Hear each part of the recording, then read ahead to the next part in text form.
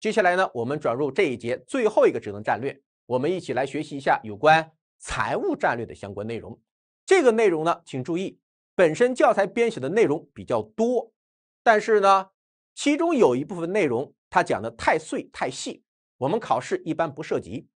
有的内容呢，它的重要性比较高，我们过去考试频率是比较大的，所以这个地方希望大家按照我讲课所做的提示，我们要有所侧重。我们有针对性的进行分析，因此我的建议是：第一，这个地方除了个别内容我要求大家看教材之外，整体你不用看教材，就按照我讲义的总结，我们做复习就可以了。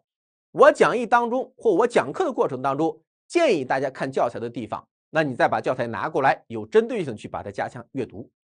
然后第二呢，在整个复习的过程当中，一定要听我上课所做的提示，哪一个点。我们了解就完事儿了，哪一个点我们课下基本就不用看，哪一个点要求大家要看教材加强理解，我都会一一的提出相关的建议。所以大家争取在你的讲义呀或辅导材料旁边做好仔细的标注，课下呢就按照我的建议去复习就完事儿了啊。那下边呢再稍微说说整个考试的情况，财务战略这个地方应该算是个比较高频的考点，但是呢它这几年考试的分值不高，这几年在财务战略这个地方。通常都是个别几道选择题，比如说单选题可能有一道到两道，多选题可能有一道题做相关的考核，所以说它分值并不是很高。不过需要提示一下，虽然最近两三年财务战略主要考选择题，但是呢，它个别的有些内容是完全可以放在主观题做考核的。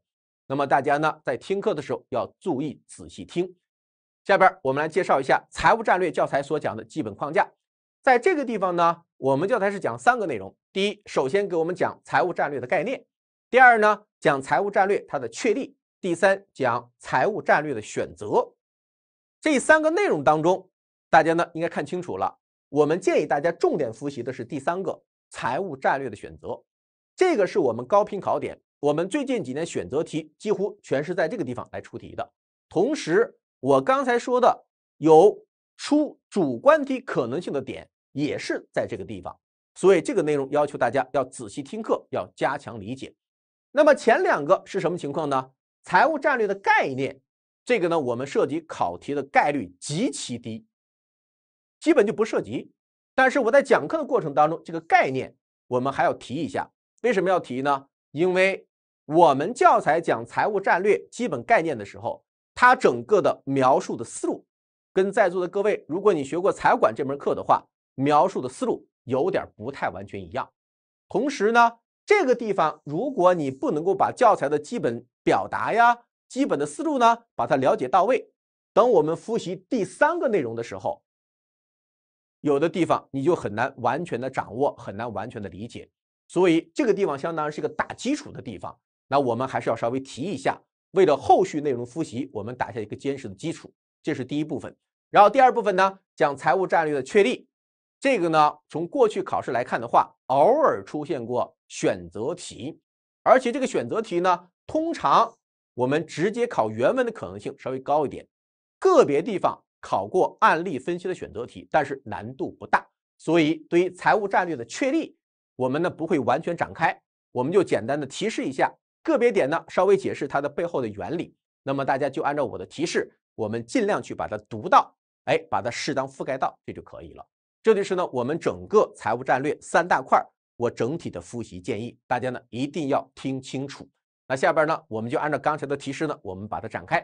首先学习第一个就是关于财务战略的概念，所以看到我的标注了吧？考试概率非常的低，只有一星。我们建议大家呢，整体是了解，了解的目的有两个：第一，万一这个地方出现个别的选择题，甚至呢，在某些选择题的个别选项出现了。那我们能够有效的把它应对。第二个是谁呢？在了解这些基本思路的基础之上，为我们复习财务战略的第三大块，也是最重要的内容，我们打下一个良好的基础啊。那下边我们首先请大家注意到，在这个地方呢，教材首先把帮助我们把财务管理跟财务战略两个词汇做了一个区别。什么叫财务管理？为企业战略提供资金支持，为提高企业经营活动的价值而进行管理的活动，这就是财务管理。所以在座的各位，如果学过财务成本管理这门课，学过财务管理的主要内容，你应该很清楚的知道，财务管理对象是什么？很简单，财务管理对象就是资金，跟我们教材的观点就完全一样了吧？然后在这过程当中，财务管理的目标是什么？很清楚吧？那不就是追求股东价值最大化？所以这里边强调价值两个字也体现出来了。那这是我们讲叫财务管理。那接着我们看看，在这个地方我们讲的财务战略词不一样了，是什么意思呢？涉及财务性质的战略，强调战略这两个字。那接下来呢，又给我们解释了一下财务战略呢，主要考虑资金的使用和管理的战略问题，以此。与其他性质的战略相区别，那什么叫其他性质战略呢？我们前边这一节讲职能战略的时候，是不是涉及其他职能领域了？营销战略、研发战略、生产运营战略。那你看到财务战略主要涉及的是财务领域的有关战略决策，这样的话呢，就和营销战略、研发战略就把它区别开来了，因为它涉及的职能领域是不一样的。这是第一个提示点。接着第二个提示点是谁呢？财务战略跟财务管理也不太完全一样，它之间是有联系的。有什么区别呢？强调财务战略主要考虑财务领域全局长期发展方向问题。那你看到这里边所讲的全局长期，它最后落脚到哪个词上？落脚到战略这个词上了，跟财务管理它是不一样的。那我相信，对于大家来讲，这是很容易把它理解到的，对不对？那这就是教材一开篇给我们简单区别了财务管理跟财务战略两个专业术语一个简单的概念。区别完之后呢，接下来就针对呢财务战略本身的一些基本内容给我们做了介绍。按照我们教材的观点，你要记住，在这个地方呢，我们教材又把企业战略它的基本框架内涵又重新进行了界定。跟我们之前在第一章我们所学过有关战略的基本内涵有点不太完全一样了，那这是代表不同的观点而已。所以大家复习这个地方的时候呢，要把这个地方它的基本思路观点跟我们在第一章我们所学的有关战略的基本定义啊那些内容要能够把它区别出来，我们独立来复习就完事儿了。那么在这个地方呢，我们教材谈到企业战略的时候，就认为一个企业的战略其实呢又分成两种类型，第一个呢就是财务战略。第二呢，就是非财务战略，其中呢，所谓的财务战略主要强调什么？主要强调必须要适合企业的发展阶段，并符合利益相关者的期望。那也就是说，当我们企业制定具体的财务战略的时候，要看一看我们企业处在生命周期的哪个阶段。那一谈到生命周期，就联系什么？第二章我们学过的有关生命周期的概念去理解就完事儿了。我这个企业处在导入期。那我要制定与导入期相适合的财务战略。如果我处于成熟期，我这个企业，那我要制定与成熟期相关的财务战略。这就是这个基本思路。此外呢，当我们制定财务战略的时候，还要考虑谁？还要考虑利益相关者，要兼顾员工啊、管理层啊、债权人呐、供应商啊，我们都必须把它考虑在内，来制定符合我们自己的财务战略。这是首先树立的财务战略。那第二类呢，叫什么？叫非财务战略，记住，非财务战略呢，它也叫经营战略。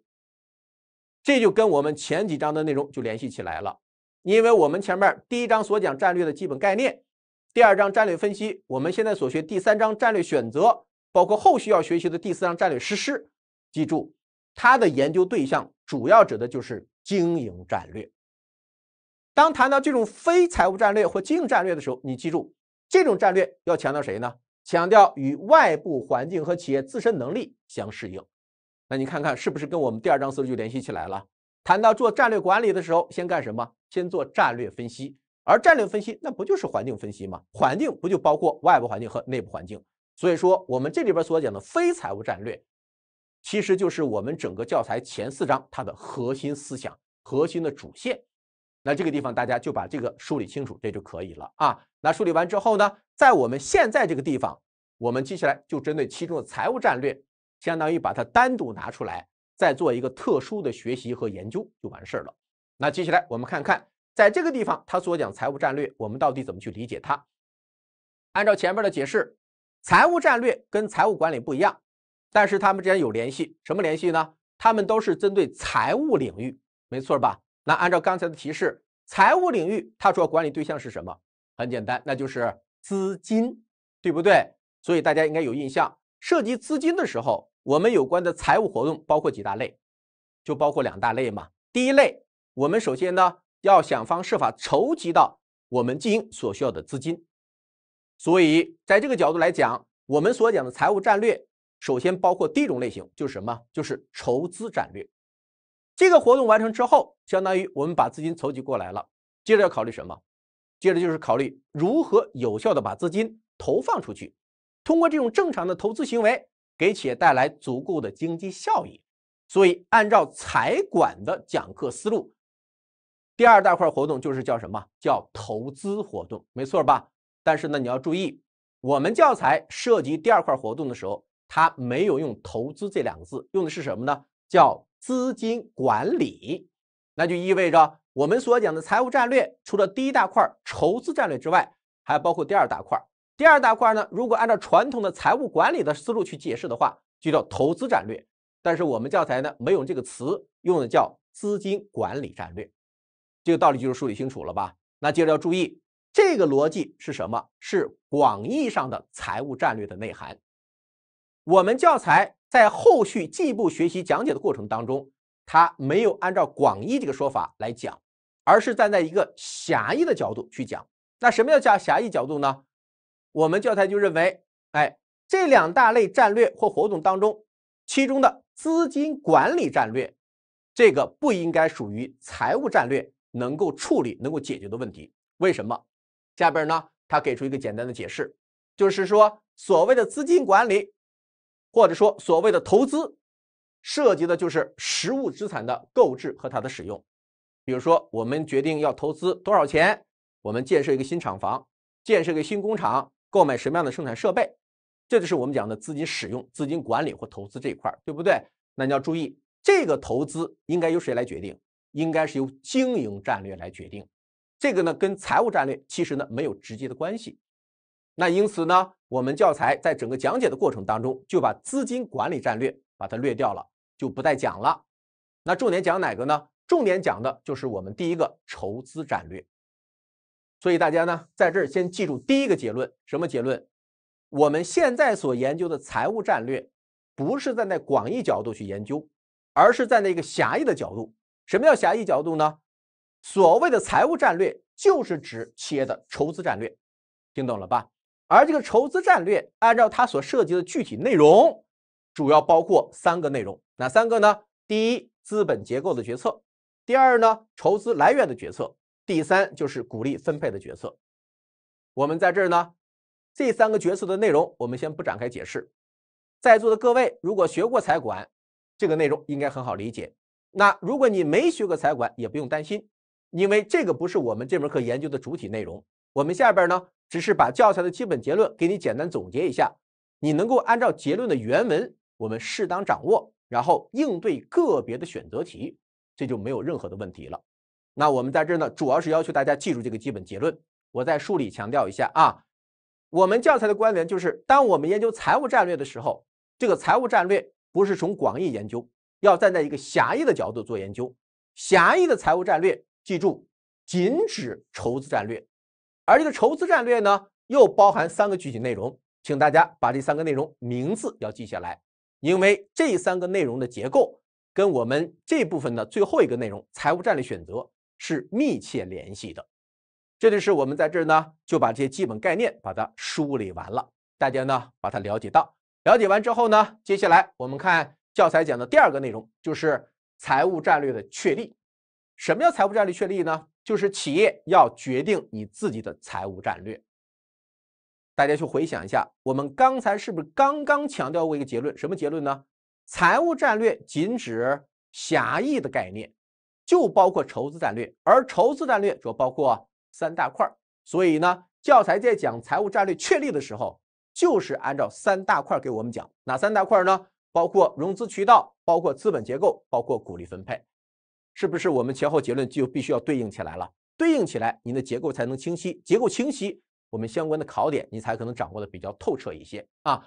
那这个结构我们现在介绍完了，再说一下分考试情况，财务战略确立这个内容，我们过去呢整体的考试频率并不是很高，就是在个别年份我们做过相关的考核，所以我给的是一星。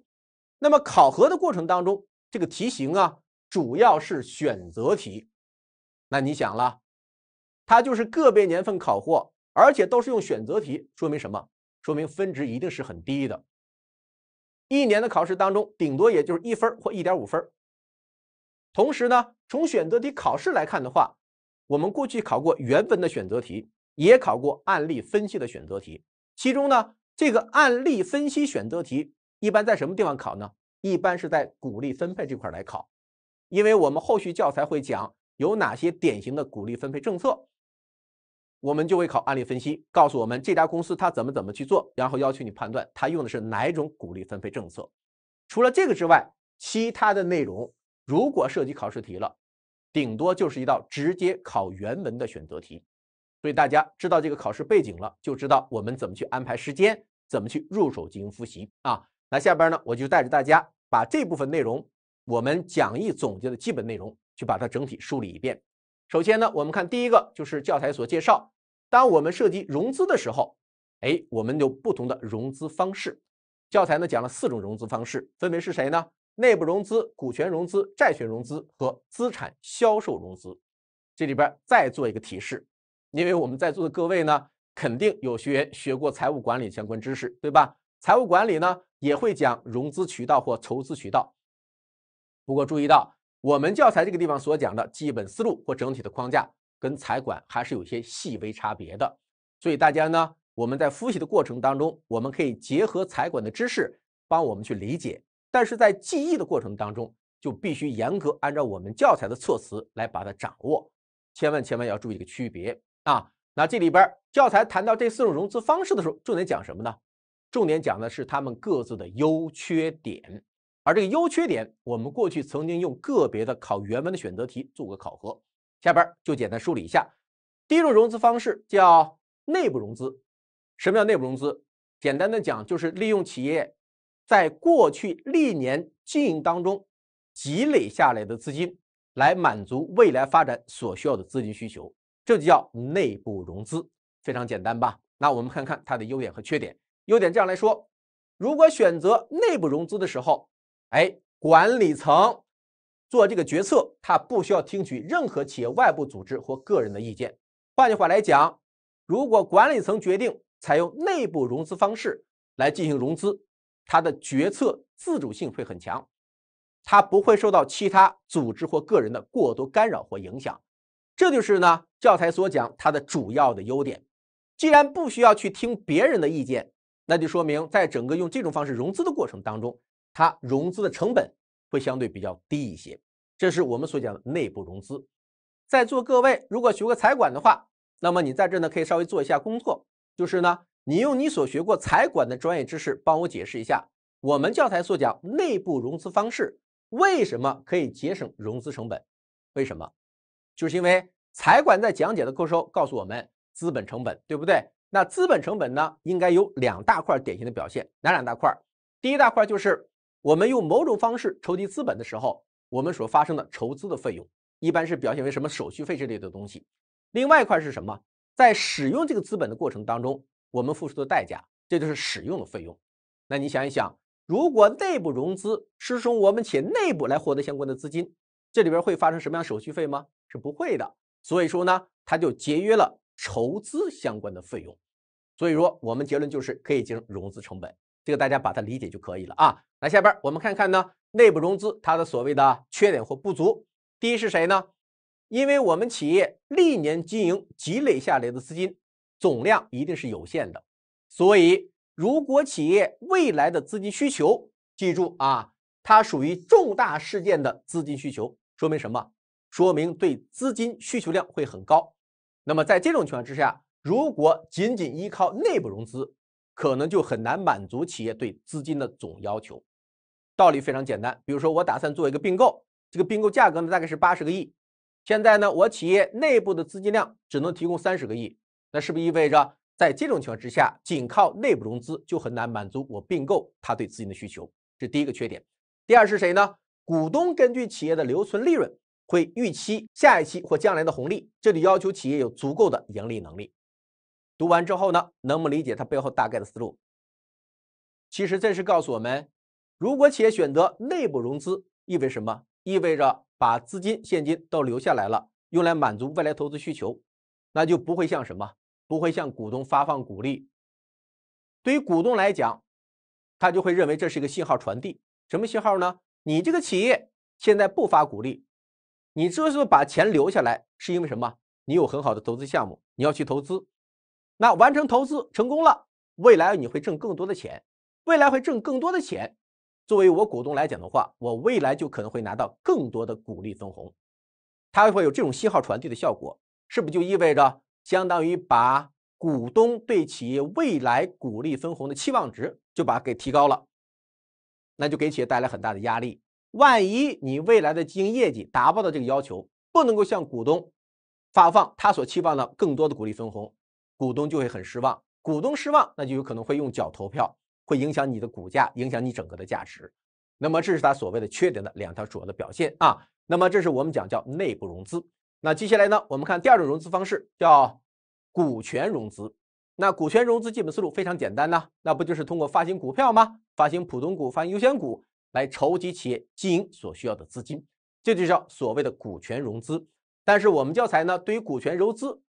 他自己呢有个单独的解释，那这个解释呢，我们就简单看看就可以了。他这样来说，经常面对的是企业现在的股东，按照现有股东的投票权比例进行新股发行，新股发行的成功取决于现有股东对企业前景，哎，具有良好的预期。这是教材这个地方它的一段话，这段话呢，大家看一看，我在这呢稍微解释一下它的背后的道理就可以了。如果按照教材这句话的解释。我们教材在讲股权融资的时候，其实呢，它的界定比较窄，就是哪种方式，相当于就是所谓的配股，或者说呢所谓的增发新股，就是这么一种方式而已。所以大家在复习的过程当中，就不要完全按照教材这个解释去把它理解了。从考试来讲的话，就把文字稍微看看，有个印象就完事儿了啊。那接下来我们看看呢，教材所讲它的主要的优点是谁呢？采用股权融资方式进行的过程当中，没有固定的股利支付压力。也就是说，你这个企业发不发股利，发多少股利，完全由企业自己说了算，所以没有这种所谓的固定股利支付压力。而这个优点是跟谁比呢？是跟我们后边要学的有关债权融资或债务融资方式跟它相比较而言的啊。此外呢，我们股权融资还有一个好好处，什么好处呢？适合于大量资金的需求，因为通过发行股票或增发新股，可以帮助企业筹集比较大数额的资金，从而呢能够满足企业对大量资金的这种需求。这是它的所谓优点的两个线索。那接着看看缺点什么呢？在我企业采用股权融资，特别是如果选择增发股票的时候，它容易引起控制权的变更。这个呢就不大家可以解释了啊。然后第二是谁呢？成本会比较高。那这个成本高高在什么地方呢？跟这个就联系起来了。股利支付这一块儿，虽然优点表现为我们发不发股利，发多少股利，这个呢没有绝对的限制，由企业自己来说了算。但是呢，总体来说，你企业不可能不发股利，一定会发股利的。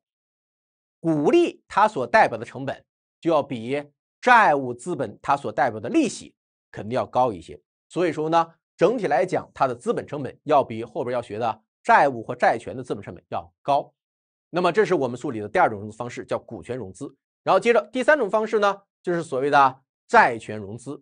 那这里边需要提示一下，债权融资我们教材呢又分成两种细小的类型，一个呢叫贷款，一个叫租赁。这个它的基本线索跟我们财管讲的有所差别了。那你会发现，财管讲整个债权融资的时候，除了贷款、除了租赁之外，其实还有一个很重要的是什么？那不就是发行公司债嘛，发行债券，对不对？但是我们教材呢没有讲这种方式，所以大家要注意这种细微的差别啊。那下边呢，我们简单梳理这两种具体类型它各自优缺点。第一个呢就是谁呢？就是贷款，就是向金融机构，特别是向银行来进行借钱。那优点是什么优点呢？融资成本会比较低一些。刚才说过嘛，向金融机构向银行支付的利息。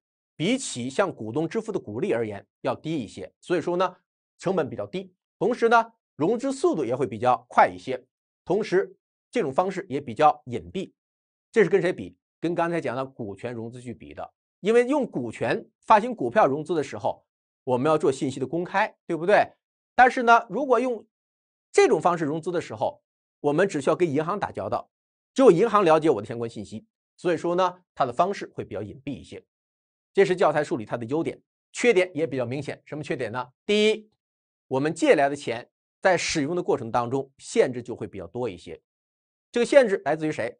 来自于债权人，像银行。因为呢，这些债权人肯定关心他借给你的钱本金呢、利息的安全性，所以往往会在整个借款合同当中对资金的使用提出很多限制条件，那就会影响你整个资金的使用。这是第一。然后第二是呢，整个借来的钱总量一定是有限的，那就意味着有可能满足不了企业对资金的需求。然后第三呢，需要按期还本付息，所以对企业会有比较大的压力，相当于背上一个很沉重的财务包袱。如果未来经营没有达到预期，还要去支付利息、到期偿还本金，那么就有可能给企业造成很大的冲击。这是我们讲的贷款。哎，接着看谁呢？就是所谓的租赁。我们教材呢把这个租赁视为债权融资。按照财管的说法呢，就是一个混合融资的一个说法，对不对？那这里边首先讲它的优点，什么优点呢？不需要为购买运输工具进行融资，因为呢融资的成本是比较高的。能梳理清楚了吧？这是跟谁去比？很简单，就是如果我企业在经营的过程当中，我需要使用一些大型的设施，比如说用一些大型的运输工具，这里边就会有不同的选择。我可以自己花钱买，也可以采用租赁的形式。那如果我自己花钱去买，那我就必须先去筹集我购买这些资产所需要的资金。那这样的话呢，有些融资的成本就会比较高一些。现在呢，我不自己花钱买，我用租赁的方式。那租赁的方式就意味着我不用一次性付出这么多钱，而是分期支付相对比较少的租金。这样的话呢，我们资金的压力就会比较小一些。这就是他所讲的第一个优点主要表现思路。而这个优点呢，现实当中比较典型的是谁？比较典型的不就是航空公司嘛？很多航空公司它运营所使用的飞机，其实都不是买的，都是什么？都是租赁形式来使用的。很简单啊。那接着下边是谁呢？租赁很有可能使企业享有更多的。税收优惠，就是我们租赁的时候，这个租金，当然这个不同国家税法规定是不太完全一样的，所以这个地方呢，教材措辞很严谨，叫很有可能，就是有些国家它的有关税法、有关税收政策可能允许我们租金作为费用来进行所谓的扣除之类的东西，这样的话呢，我们就可以享受相关的税收优惠。这是第二啊，然后第三谁呢？租赁可以增加企业的资本回报率，因为它减少了。总资本，哎，这个大家呢可能不太好理解，但是我们在这呢也不建议大家过分的理解。这个理解的话，需要大家结合比较深的会计知识。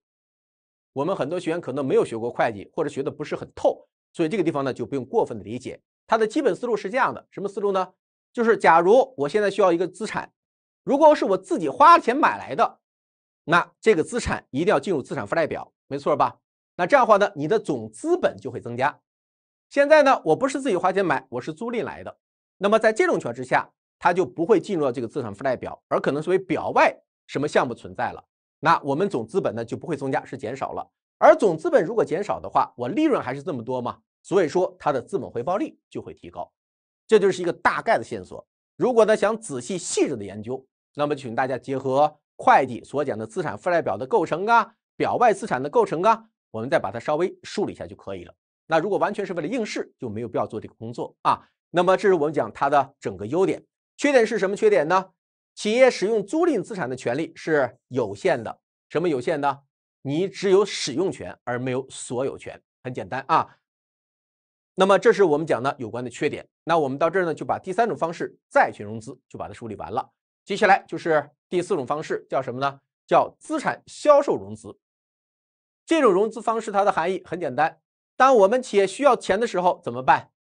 就是卖手上的资产就完事儿了，把手里边资产卖掉了，我们就拿回钱了，这叫资产融资啊。那这里边优点是什么呢？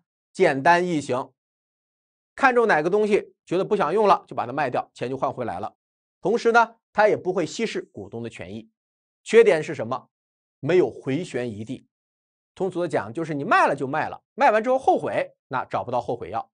然后第二是谁呢？如果销售的时机选择不当，有可能什么？有可能你卖不上一个好的价钱，你实际的卖钱可能会远远低于这个资产本身的价值，那相当于是你就卖亏了，对不对？那么这是所谓的它的优点和缺点简单线索啊。那我们到这儿呢，就把教材所讲四种融资方式各自的优缺点呢，就把它全部结束了。大家课下听清楚，简单了解，读几遍就可以了。这是我们梳理财务战略确立的第一个内容。那接下来呢，第二个内容。教材给我们讲的是什么？就是有关资本成本或叫融资的成本。这个内容呢非常的简单，因为我们教材呢没有过分的展开，所以这个大家把它当成一个非常琐碎的点，能看多少就看多少。如果看不过来，或者说呢没有财管的知识，我感觉也不好掌握，就直接把它放掉就完事儿了啊。那这里边简单梳理一下，当谈到融资成本或资本成本的时候，记住我们一般是分两个层面，我们做相关的研究。第一个呢。叫个别资本成本，第二呢叫企业加权平均的资本成本。其中这个个别资本成本，根据企业筹集资本的来源不同，我们主要分成两大类，一类就是股权资本成本，一大类就是长期债务的资本成本。大家即使没学过，从名称也可以把它区别出来。股权的资本成本就是指企业在筹集资本的时候靠什么方式？股权融资，通俗讲发行股票。那如果是长期债务资本成本，表明企业在筹集资本的过程当中靠什么？靠长期债务。而这个长期债务有两个典型的表现，一个就是长期借款，一个就是长期债券。大家呢把它简单区别就完事儿了。那下边我们就分这两个层次的成本，简单了解一下我们教材它所介绍的，我们怎么去核算，怎么去评价。其中第一个个别资本成本，先看哪个呢？股权资本成本。教材告诉我们两种计算的方式。第一呢。叫资本资产定价模型，这里边有一些详细文字的解释。这个文字解释呢，我就不再念了。对于我们在座的各位学过财管，利用财管知识简单理解；没学过财管就不用看这些内容，就记住有资本资产定价模型用于股权资本成本计算就完事了。第二是谁呢？用无风险利率来估计权益资本成本。这种方法的基本思路是什么呢？就是企业首先要得到无风险利率。而这个无风险利率一般就指的是无风险债券的利率。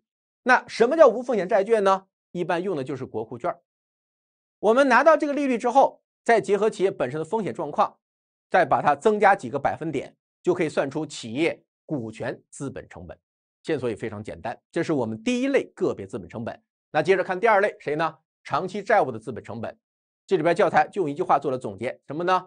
等于各种债务利息费用。它的加权平均数扣除税收效应。由于这里边涉及财管的一些具体内容，那我们在这呢也不再过分的展开，简单提示一下，没学过财管的能听懂就听懂，听不懂就把它放掉。什么叫扣除税收效应呢？很简单，不管是银行的长期借款，还是企业发行的长期债券，都要支付利息，而利息记住是在税前扣除的，所以利息的多少它就有一定的抵税效应。那我们计算有关长期债务资本成本的时候，就必须把利息的抵税效应，我们要把它考虑进去，这就是它背后一个简单的逻辑啊。那我们到这呢，就把这个结束掉。这是我们首先梳理个别资本成本。我们得到个别资本成本之后，接着干什么呢？要站在企业整体这个层面上来判断一下企业平均的资本成本是多少。所以接下来呢，就得到了所谓的加权平均资本成本。我们英文简写就是 WACC。那这里边呢，给出一个简单的计算公式，怎么计算呢？就是拿长期债务资本成本乘以谁呢？乘以长期债务资本占企业总资本的比重，我们作为权数。接着呢，再加上权益资本它的个别资本成本乘以呢权益资本占总资本的比重作为权数。哎，我们算出一个加权平均数，这就是企业平均的一个。资本成本的水平，那这就是强调我们所谓的融资成本这个相关的内容，大家呢也是再去把它简单了解一下啊。这是财务战略确立它的第二个内容。那接下来呢，我们看第三个内容，教材讲什么呢？讲有关资本结构的决策，最优资本结构这个内容也请大家呢稍微了解就可以了。先去熟悉什么叫资本结构。所谓的资本结构，就是指企业的权益资本跟债务资本二者的比例关系。我们通常呢，一般主要衡量是谁呢？债务资本占总资本的比重，对不对？这叫资本结构。那么对于企业来讲呢，在整个资本结构决策过程当中，要找最优的资本结构。那我们怎么界定最优资本结构呢？就这句话：加权平均资本成本最低，企业价值最大。这时候所对应资本结构，对于企业来讲就是最优的资本结构。这些东西呢，都属于财管的东西，所以我们在这呢时间的限制，我们就不再完全展开。而且呢，从我们这门课考试来讲的话，这些都不是我们考试的主要点。所以在座的各位没学过财管，也不要再花时间去研究它了啊。那我们把这个基本概念梳理完之后呢，接下来。就要求大家再去掌握的是有关鼓励分配政策。在这个地方，教材其实分了两部分来讲。首先呢，给我们讲决定鼓励分配政策的一些影响因素。这个内容不是我们考试的主要点，从来也没有考过，所以这个地方呢，我也不展开讲。大家呢自行简单浏览这些因素它的标题，不需要去过分的理解背后的主要的原理。这个原理呢，财管会讲得很透彻。但是我们这门课不需要大家展开，我们就快速的过一遍，包括哪些呢？留存供未来使用的利润的需要，如果未来需要的留存利润越多，说明我们鼓励发放的应该越少。第二呢，分配利润的法定要求，这个呢跟财管跟经济法是有联系的，我不再多说了。第三呢，债务契约中它的鼓励约束，当你向银行贷款的时候，它可能对你发放鼓励有一定的约束，那你就必须执行这个合同，对吧？然后下面包括企业的财务杠杆，包括企业的流动性水平，即将偿还债务的需要，还包括呢鼓励对于股东和整体金融市场的信号作用，这都是我们相关的因素，这个大家适当浏览。那除了这个之外呢，接下来就是教材所讲四种常见的鼓励政策，这个我们请大家怎么复习呢？在这儿先听我用口头语言把四种鼓励政策的思路。内涵给你解释一下，你把它听懂。课下最好这个地方去读一下教材，把我们教材原文针对这四种政策的解释，我们把它熟悉一下。因为有的时候考选择题，它会用教材原文来考。如果你能够对应起来的话，我们做判断的准确度会大大提高。下边做个提示，什么提示呢？财管这门课也讲四种鼓励政策，但是呢。我们这两门课所讲的四种鼓励政策有个细微差别。你先看我们教材，它这样来说，哪四种呢？固定鼓励政策、固定鼓励支付率政策、零鼓励政策，还包括剩余鼓励政策。我们这两门课区别的地方就在于这个：财管教材不讲零鼓励政策，我们教材呢是这四种。所以大家复习这个内容的时候，要把两门课要把它分开。一定不要把它记混了啊！那下边我解释一下，第一种政策呢叫固定鼓励政策，什么意思？意思就是说，我们这个企业每年向股东发放的股利，按照一个固定不变的常数一直维持下去，就叫固定股利政策。比如说，我们确定每年向股东发放多少呢？每十股发两毛钱，然后一直延续下去，这叫固定股利政策。非常简单啊！那我们简单分析一下它的优点和缺点。它的优点是什么？这个优点呢，要针对股东来讲，因为我是制定每年固定不变的股利，所以股东每年能够拿到多少股利，他就可以很轻易的算出来，这样就有利于他自身的资金安排。但是呢，如果换个角度，换到我们企业角度来讲，这种政策呢存在一定的缺点。什么缺点呢？就是每年发放的股利跟你这个企业当年的经营结果，也就是利润，它就脱钩了。不管你挣得多还是挣得少，都发放固定股利。那你想想，尤其是当你挣得少的时候，还要支付固定的股利，不就相当于给企业带来一定的压力了吗？这叫固定股利政策啊。那接着看第二个，叫固定股利支付率政策。记住这个词啊，固定股利支付率。那什么意思呢？就是我们这个企业每年向股东支付的股利占当年盈余的比例，我们把它固定下来。当年支付股利的时候，就按照当年的盈余再乘以这个固定的支付率，就可以算出当年向股东支付的股利。这叫固定股利支付率政策，能理解到了？那接着分析它的优点和它的缺点。你先站在股东的角度，这种政策对股东有什么影响？这个影响呢，应该是个不好的影响。为什么？因为向股东支付股利的时候，是根据当年的盈余再乘以这个固定的支付率。那我们知道，企业每年的盈余都是在变化的，所以呢，股东就不太可能知道他当年可以分到多少股利，这就不利于他安排资金，对不对？对于我们企业来讲，这种政策有好处了。什么好处呢？我们是按照固定的支付率乘以当年的盈余来支付股利，那就说明我们每年支付的股利跟我们企业经营结果就挂钩了。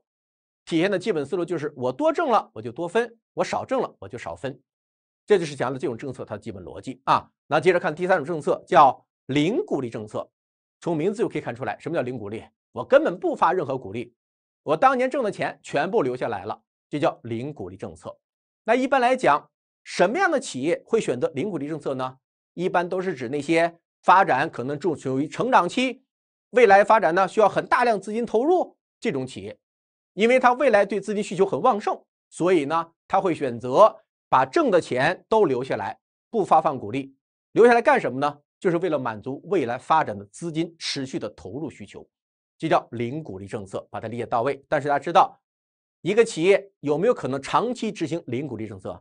这是不太可能的，你只能在短期之内来使用它啊。那接着看第四个是谁呢？叫剩余股利政策，什么意思呢？意思就是说，在当年决定发放股利的时候，先干什么？先看一看未来投资的需求，根据未来投资需求，先从当年的盈余当中，我们留下相应的资金。留完之后呢，当年的盈余如果还有剩余，我们再去考虑股利的支付。这就是所谓的剩余股利政策。当然，具体怎么执行，我们教材呢没有展开详细讲，财管教材会有比较详细的讲。因为这种政策在执行的过程当中，必须考虑什么？必须考虑你企业目标资本结构，但是在这儿呢，我们就不用管它了啊，只要理解基本思路。什么思路呢？当年的盈余先满足未来投资需求，投资需求满足之后，如果还有剩余，再考虑发放股利的问题。那如果没有剩余了，那自然就不发放股利了，这叫剩余股利政策。那如果按照刚才的描述，是不是说明这种政策在执行的时候也是先考虑未来发展需要？所以呢，一般来讲也是属于成长阶段。未来资金需求很旺盛的企业可能会选择这种鼓励政策，那么这就是呢我们教材所讲四种鼓励政策它的基本线索，主要的主线，大家呢争取把它听懂，我们好应对案例分析题。课下呢，请大家自行结合教材文字的解释，再把它多读几遍，这就可以了。那我们到这儿就把教材财务战略的第二大块内容，财务战略确立，请大家复习的点呢，就把它整体梳理了一遍。